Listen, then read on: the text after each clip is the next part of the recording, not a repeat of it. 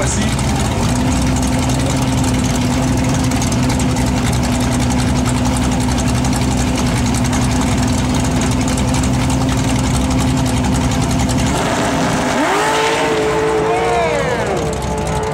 L34 sur le 60 pieds. Il est tout près. 6 secondes à 6-13, exactement 112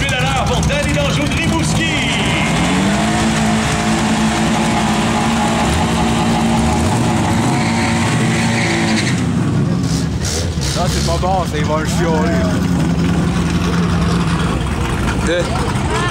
Quand il là, il il aime pas bien ça. Et bien beau maintenant avec son Civic 98 s'installe sur la ligne Castrol. Il fait face au Nissan 246, moteur 2.4 litres Twin Cam.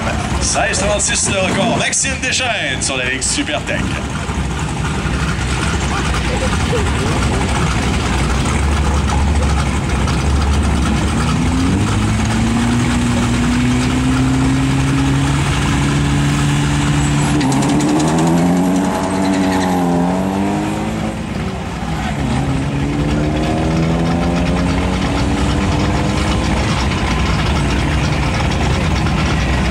Tant que ça, Rémi.